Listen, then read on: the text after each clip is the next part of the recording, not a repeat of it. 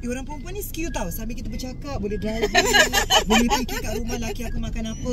Ah, Macam tu kan? Ah. Dulu sebelum tahun 2014 tak silap saya Hmm. Semua orang pun jadi agent. There's no restrictions on uh, Oh, really You just have to take one simple paper saja Very simple paper you send boleh jadi agent So macam dulu macam ah, Sembarang punya orang pun boleh jadi agent Oh. Tapi baru-baru ni Because they introduce the exam Diorang Hmm. nak agent rumah tu Agent rumah yang bertauliah So it's Ah. certified You Yes. tak boleh anyhow sell people house anyhow lah eh. Ah, ah. Jadi kes-kes macam suruh orang sign sembarang uh, Paksa makcik jual Saya rasa sekarang dah kurang Oh. Tapi saya ada pernah dengar Dulu-dulu orang cerita macam ni Kerana Hmm. apa The agents dulu dengan sekarang berbeza So the quality of the agents now is so much better Kita tak boleh sebarang-sebarang suruh makcik sign Hmm. Kalau orang tu 65 ke atas Mesti pastikan yang dia ada mental capacity. Maksudnya dia tak nyanyuk Dia faham. Kalau tidak kena ada saksi. Uh, Oh. Orang yang witness the process. Hmm. uh, So I think Okay for me eh Maaf cakap Saya pun banyak uh, Makcik-makcik yang suruh saya jual rumah. Hmm. Kadang-kadang Untung sampai 3-400 ribu Nona boleh simpan kan Ah? Ah, kau Bagus. kaya eh, Kita fikir akhirat you.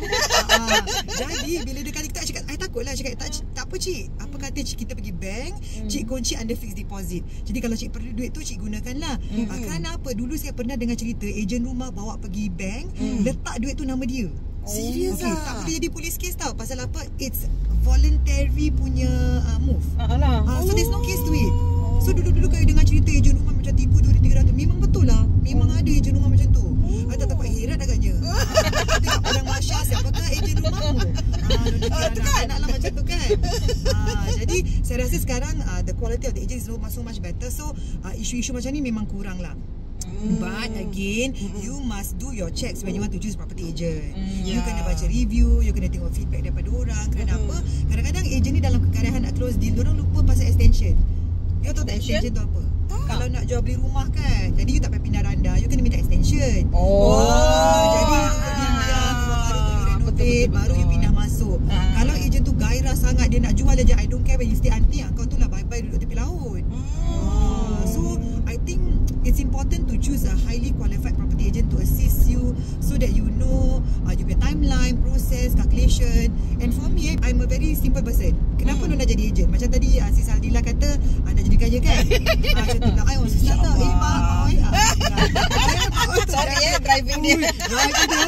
Louis Hamilton nampak menangis. Eh. Ah, jadi Nona dulu orang susah. Mak kerja kilang kan? Jadi orang malam memang susah lah. Ah, Bila kerja kat radio pun rumah I dah sendiri sedih tu ni. Jadi doa tu memang nak doa nak kaya. Tapi kaya tu bukan apa Untuk bantu orang. Pasal nak senangkan ibu Nak ya. senangkan anak. Kan. Jadi Alhamdulillah Allah tunjukkan jalan. I wanted more money more time. That was just my prayers. When I, I, I said when I was in radio Macam eh, dulu kan kerja kat radio AB Ship bawa Mercedes. Oh, yalah, AB that's Ship right. Siapa tak kena AB Ship Abang Ah, Syed. yalah. Sekarang Porsche kena Ah, bawa. Itulah dia Capital State Standard Tapi saya pula kerja dia tu Tak kaya-kaya ah, Macam kenapa Syed boleh Mercedes Aku tak kaya-kaya Tak ada kereta ah, Macam tu kan Jadi kita doa lah Kita doa Allah tunjukkan jalan Alhamdulillah Nampak property So I entered property Alhamdulillah rezeki ada kat sini So uh, dalam perjalanan kerja ni pun Nona rasa Dapat banyak bantu orang So Ya. itu yang I rasa yang important, eh? kelebihan Yeah, so it's not just about the money now. It's really the satisfaction of helping people. Mm-mm. Lagipun you kasih orang rumah kan. So that one very important kan.